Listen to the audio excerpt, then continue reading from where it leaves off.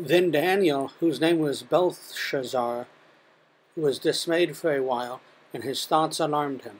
The king answered and said, Belteshazzar, let not the dream or the interpretation alarm you. Bel- answered and said, My lord, may the dream be for those who hate you, and the interpretation for your enemies. The tree you saw, which grew and became strong, so that its top reached to the heavens, and it was visible to the end of the whole earth, whose leaves were beautiful, and its fruit abundant, and in which was food for all, under which the beasts of the field found shade, and in whose branches the birds of the heavens lived. It is you, O King, who have grown and become strong. Your greatness has grown and reaches to heaven, and your dominion to the ends of the earth.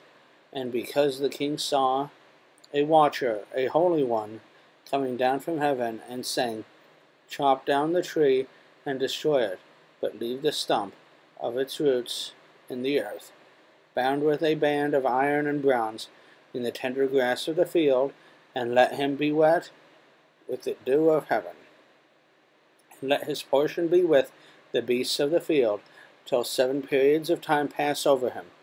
This is the interpretation, O king. It is a decree of the Most High, which has come upon my lord the king, that you shall be driven from among men, and your dwelling shall be with the beasts of the field. You shall be made to eat grass like an ox, and you shall be wet with the dew of heaven.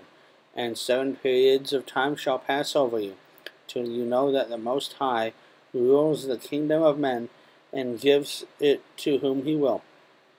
As it, and as it was commanded to leave the stump of the root of the tree, your kingdom shall be confirmed for you from the time that you know that heaven rules. Therefore, O king, let my counsel be acceptable to you. Break off your sins by practicing righteousness, and your inquiries by showing mercy to the oppressed, that there may be perhaps be a lengthening of your prosperity.